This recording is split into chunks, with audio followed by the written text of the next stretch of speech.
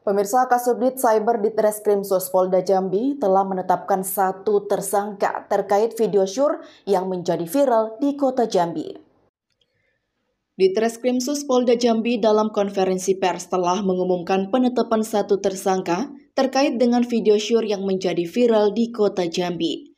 Dalam penjelasannya, Kasubdit Cyber Ditreskrim Polda Jambi AKBP Reza Komeini pada Rabu kemarin menyatakan bahwa tersangka tersebut merupakan seorang teknisi handphone yang ditahan karena dugaan tindakan ilegal akses terhadap data pribadi korban. Menurut AKBP Reza, tersangka yang ditahan telah terbukti secara ilegal membuka, mengambil, dan memindahkan data pribadi yang tersimpan dalam galeri file tersembunyi pada handphone korban.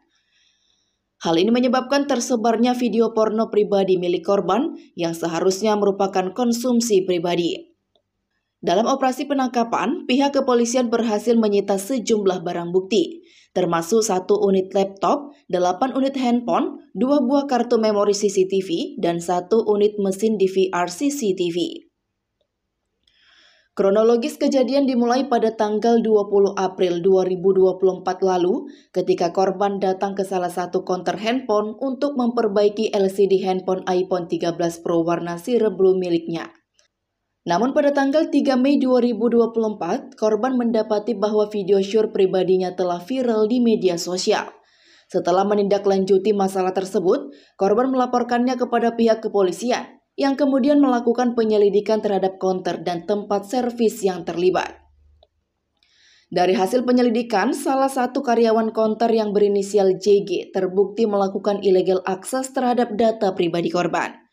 Karyawan tersebut juga diduga mengirimkan video tersebut melalui airdrop dan pesan WhatsApp kepada karyawan lainnya.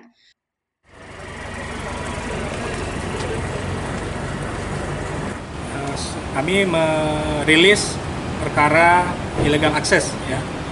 Jadi sempat viral beberapa minggu yang lalu tentang beredarnya video sepasang uh, muda-mudi yang beredar di Provinsi Jambi.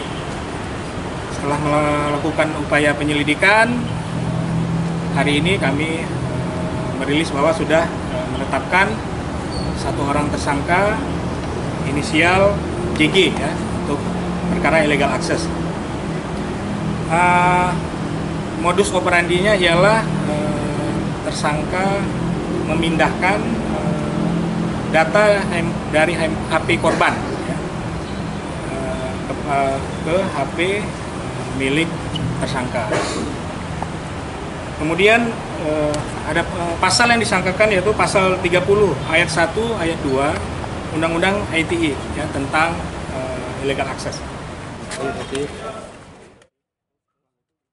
Dari kota Jambi, Noval BITV melaporkan. Ayo dukung kami dengan cara like, share, komen, dan subscribe di akun BITV agar tidak tertinggal berita terupdate lainnya. Saya Kiki Anggriani, mewakili yang bertugas. Pamit undur diri, terima kasih dan sampai jumpa.